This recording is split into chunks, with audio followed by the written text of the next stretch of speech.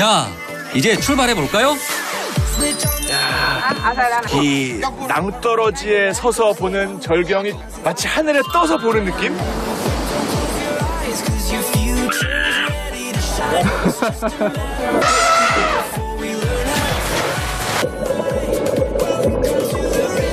심장이 그냥 터질 것 같습니다.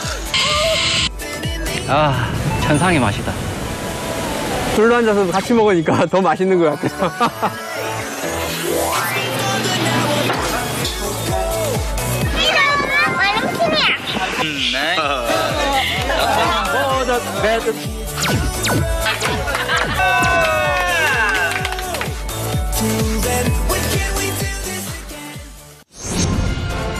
물이 만든 아시아의 풍경은 어떤 빛깔일까요? 방글라데시 어부들에게 물은 황금빛 터전이자 아낌없이 주는 친구이고 진짜 크네요. 두려운 존재랍니다. 초록빛 바다 필리핀입니다. 그 바다에는 어마어마한 크기의 고래상어가 살고 인간의 삶이 있습니다. 갈수록 신비롭고 볼수록 놀라운 아시아 물기행을 떠나봅니다.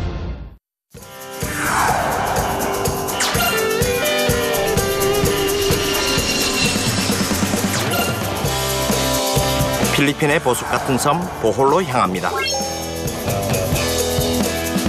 보홀에 있는 달콤한 언덕 초콜릿 힐을 만나기 위해서죠.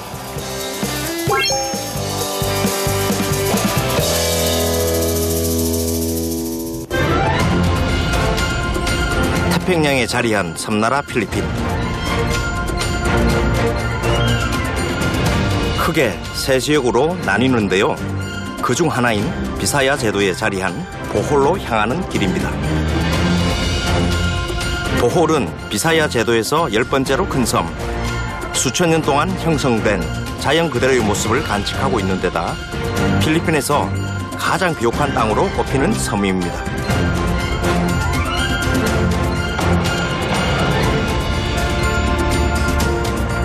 보홀 섬에 도착하면 가장 먼저 찾게 되는 곳.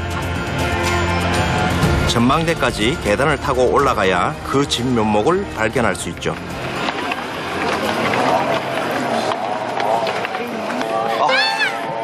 계단 올라가는 게 상당히 힘듭니다. 그런데 올라가고 나면 좋은 광경이 있을 거로 기대됩니다.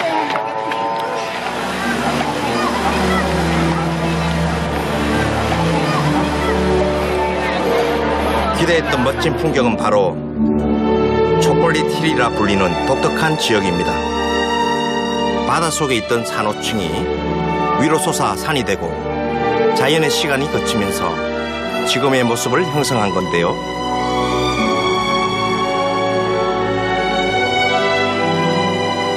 (6월부터) (11월까지) 동그란 언덕이 갈색으로 변한답니다. 모양들이 초콜릿 모양으로 생겼다고 해서 초콜릿 힐이라고도 불리는데요. 이러한 지형은 220만 년 전에 해저 지형이 융기되면서 오랜 풍화, 오랜 시간을 거쳐서 풍화작용을 거치면서 이러한 지형이 형성됐다고 하는데요. 마치 경주의 왕릉을 수천 개 이렇게 옮겨놓은 듯한 그런 느낌입니다. 초콜릿 모양의 언덕 1200여 개가 만들어내는 멋진 경관. 보홀에 또 다른 명물을 만나러 갑니다. 이곳은 멸종 위기종에 속하는 눈큰 원숭이 타르시어를 보호하는 곳인데요. 몸이 작고 눈이 커서 안경 원숭이라고 불립니다. 야, 이, 이 엄지손가락만 하니까요. 이 지구에서 가장 작은 원숭이죠. 물론 뭐, 아이고, 핸드폰보다 훨씬 작을 것 같습니다. 뭐, 엄지손가락 정도밖에 안 되니까요. 안경 원숭이는 보통 해발 700여 미터의 열대 우림에 서식하는데요. 그런데 대체 어디 있을까요? 찾기 힘드네. 워낙 작, 크기가 작다 보니까 찾기가 상당히 힘듭니다. 아, 저기. 어디요? 저기 한 마리. 12시 방향. 한 마리 있습니다. 드디어 찾았습니다. 스타워즈의 요다가 이 원숭이를 모티브로 만들었다는데요. 정말 똑같죠? 몸을 움츠리고 있고 너무 작고 색깔도 이게 나무 가지 색깔하고 비슷하니까 말 그대로 숨은 그림 찾기에서 그것도 난이도가 상당히 높은 숨은 그림 찾기입니다. 야행성이라 낮에는 나무에 붙어 내내 잠만 잔다는데요. 다 커도 몸 길이가 15cm를 넘지 않는 데다 안구 하나의 무게가 뇌 전체의 무게와 같답니다.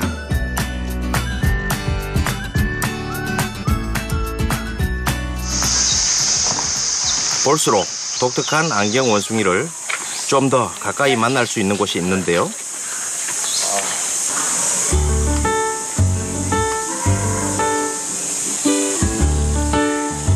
제 손이 너무 큰 걸까요? 정말 작고 외계인을 닮았지만 귀여웠습니다.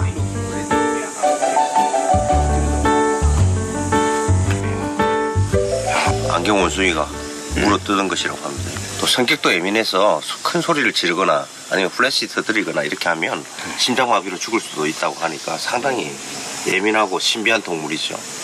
특이한 신체 구조를 가진 안경 원숭이. 성격은 어떨까요? touch. The have the monkey. Uh, this tarsier. You have to like up the monkey. You have the same to monkey. You have, have bite. It's mini. 안경 원숭이가 좋아하는 먹이인데요. 주로 곤충을 사냥해 먹는다고 합니다. Tarsier is the favorite of uh, cricket owl. All cricket. 관리인이 좋아하는 먹이를 가져다 주자 맛있게 받아 먹는 안경 원숭이.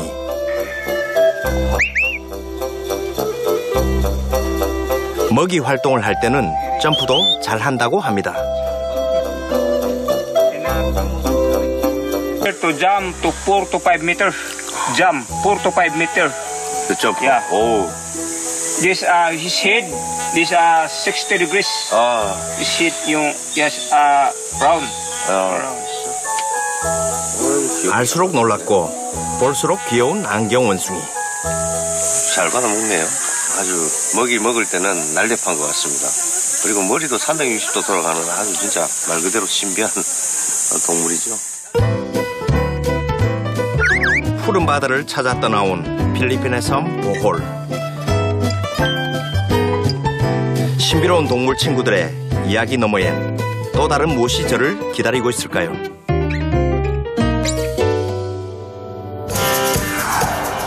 필리핀 비사야 제도의 중심지 세부. 저는 오늘 세부에서 차를 타고 3시간 정도 떨어진 오슬롭에서 여정을 시작합니다.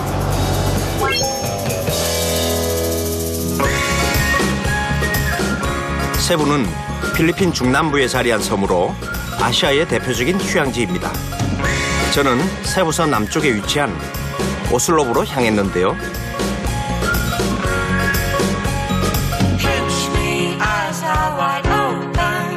이곳에는 세부에서 가장 크고 아름다운 투말록 폭포가 있습니다.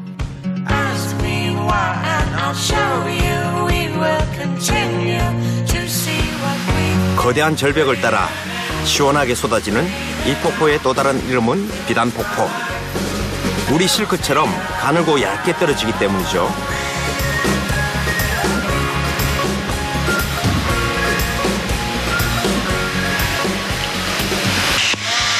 정말 정말 멋있습니다. 아주 높은 곳에서 물이 가늘게 떨어지는데요. 네, 멋있습니다. 열대 우림과 조화를 이루어 신비한 분위기를 자아내는 투말록 폭포. 커튼 폭포 또는 비단 폭포라고도 불립니다. 제임스 카메론 감독이 여기 이 폭포에서 영감을 얻어서 아바타의 배경을 제작했다는 것으로 유명한 폭포입니다.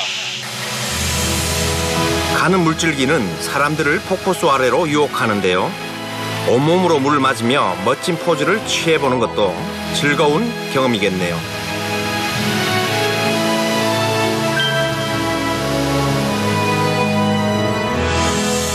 잠시 폭포수에서 더위를 식히고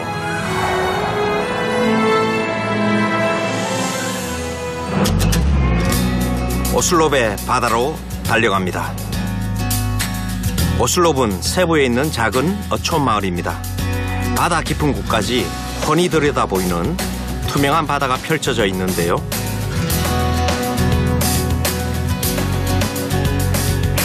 이 작은 마을엔 세계 각지의 관광객들이 몰려든답니다. 비밀은 바로 이 바다에 숨어 있죠. 그 주인공은 바로 이 물고기 오슬로 바다에서 만날 수 있는 고래상어입니다. 고래상어는 어, 지구에서 가장 큰 어류로 길이가 최장 18m, 몸무게는 20톤에 이른다고 하는데요.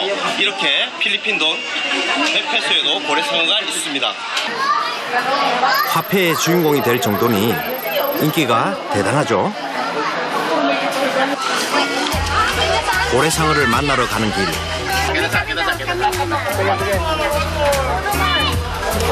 해변에서 묘기에 가까운 동작을 선보이는 젊은이들이 있었는데요. 아마 체조 선수들이 놀러 온 모양입니다.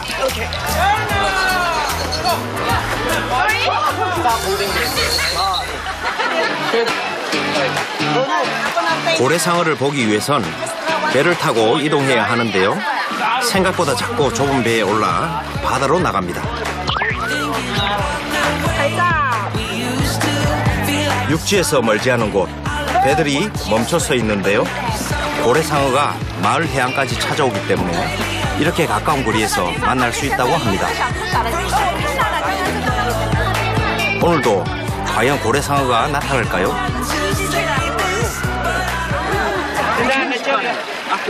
그때 수면 위로 보이는 검은 물체 바로 고래상어 지느러미입니다. 한두 마리가 아닌데요.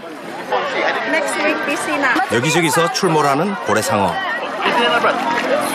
조용한 거인이라는 별명이 있을 정도로 성격이 온순하다더니 사실이었습니다.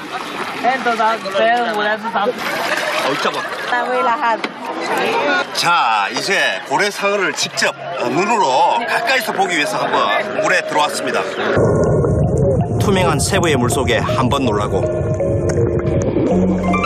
눈앞에서 헤엄치는 고래상어의 엄청난 크기에 더 크게 놀랐답니다. 지구에서 가장 큰 물고기라는 말이 실감나는 몸의 길이. 하지만 고래상어는 몸집과 다르게 겁이 많다고 알려져 있습니다. 바로 곁에서 함께 헤엄치니 친근감마저 느껴졌는데요.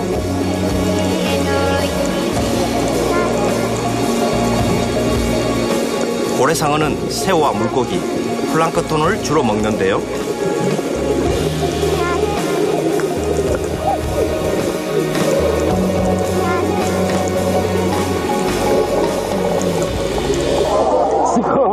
입을 벌리고 제, 바로 제 앞에.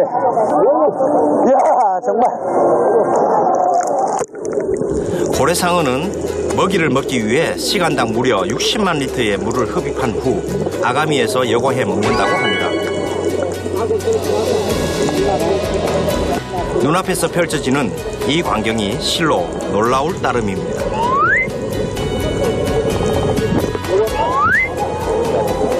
마을에 고래상어가 나타난 것은 10여 년 전. 굶주린 고래상어에게 어부들이 먹이를 주기 시작한 이후로 마을로 몰려들었다고 합니다.